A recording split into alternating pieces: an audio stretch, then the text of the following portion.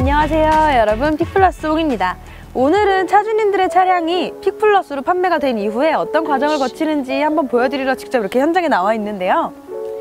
이곳에서는 차주님들의 차량이 이곳으로 도착을 하면 차량 상태는 어떤지 문제는 없는지 어디가 더 괜찮은지 이런 부분을 차량을 체크하고 다음 과정으로 넘어가게 돼요. 다음 과정도 한번 같이 가볼까요?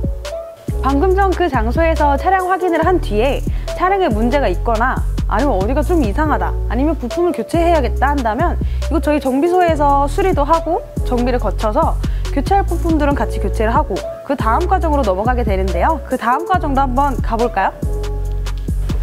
방금 전 저희 정비소에서 차량을 정비를 거쳐서 속이 굉장히 튼튼한 차가 되면 이곳에서는 외관을 조금 더 깨끗하게 만들어주기 위해서 도색 작업을 거치게 되는데요 도색 작업을 거친 이후에도 더 깔끔하고 쾌적한 차량을 위해서 거쳐야 할 과정이 있다는 거 다음 과정으로 한번 가볼게요.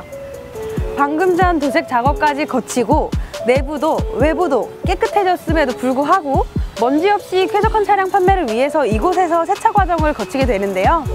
세차 과정을 걸친 이후에 바로 픽플러스 바이어분들께 판매가 이루어지고요 오늘은 이렇게 차주님들의 차량이 어떤 공정 과정을 거치는지 알아봤는데요. 다음번엔 다른 영상으로 다시 돌아올게요. 안녕!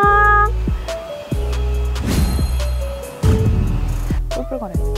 열심히 가봐요.